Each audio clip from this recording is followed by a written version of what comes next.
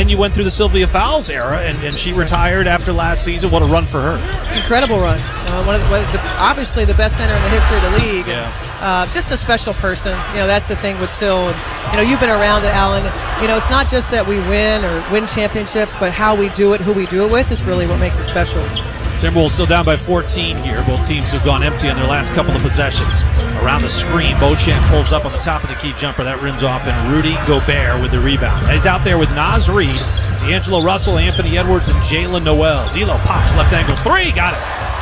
D'Angelo Russell brings the Wolves to within 11. What have you been? Uh, how much of Wolves basketball have you watched? Well, I've watched it on TV some. I've been Yep. I've been out east for a little bit, and I actually had a chance to watch an elite Pass early on. Uh, this is my first live game, so really happy to be here. Holiday right side three short. Rudy the rebound. Good hit ahead to Naz Reid on the move against Grayson Allen, and Allen has no choice but to foul him. Naz will go to the free throw line for two. Uh, what'd you think of the Rudy Gobert addition in the offseason when you add a three-time Defensive Player of the Year to your roster? Yeah, I was really excited about it. I understood, you know, the kind of the, the big investment in him. Uh, he's he's elite in terms of his rim protection, things that win basketball games. He's very productive. Um, you know, we just got to figure out, you know, the offensive side of it. You know, how to bring out the best in him, how to bring out the best in others when he's on the floor.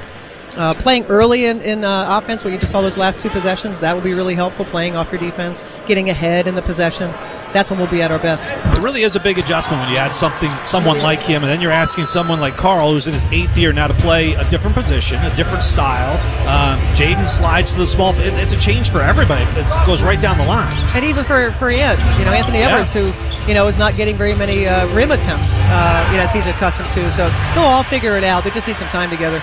Ant with a steal here. The push to D'Angelo Russell in the corner. Wolves down by nine, 40 to 31. Ant with it up top against Grayson Allen. Calls for the Rudy screen, rejects that, drives into the paint, lost it out of bounds. And that's been a problem for Ant on his drives. He's been top 15 in drives per game, but has the highest turnover rate in the NBA. I think teams, are, teams are probably adjusting to him a little bit more, right? They're Mhm. really starting to you know bring that help and make him make decisions. Giannis up the center of the floor off the Lopez screen, attacking Rudy in the lane. Flipped up the shot, no, but he'll go to the free throw line where he gets 12 free throw attempts per game. Uh, so where does the who are we building around with the Lynx now? Napheesa Collier had a baby last year, right? She did. Only played a handful of games. What four Yeah, games? she tried to get back for Syl. Wanted to be on the floor with Syl, you know, just a couple more times, and so she was able to do that. That was a success story for us. Uh, we need Napheesa back, obviously, back in uh, you know elite form, top ten player in the league. Uh, you know, added to her family, you know, baby Mila, who's just precious. Uh, so they're they're super excited to kind of get their family started, and and I know that she's working hard to you know to be even better than what she was, but but before uh, you know she had the season off. I remember filling in on a game a couple of years ago on the CBS Sports Network when they were doing stuff, and I think it might have been a rookie year or something. Yeah. She just seems like a really well-rounded person, grounded. So many of the WNBA players. That's what one of the things I remember most about being in the WNBA and covering those games is just getting to know the players and how they kind of had just they they all got it. They understood Yeah. where the league was and what they had to do as players to promote exactly the right. league. Um, and she seemed right in line with a lot of the other players. Yeah, Fee has a, a youthful maturity, uh, so so she can be youthful and, and naive. At, at the same time, she's really got a sense of uh, team play. Uh, you know, just what's needed from a leadership standpoint. She's willing to do uh, difficult things in terms of a voice on the team. And, uh, so she's definitely somebody you want to build around, and, and we're excited to, to have her back in 2023. Giannis was able to hit a pair at the free throw line. Then Naz Reid playing with an edge these days. He scores at the offensive end, rips down a defensive rebound. Here come the Wolves trailing by 8, 41 33.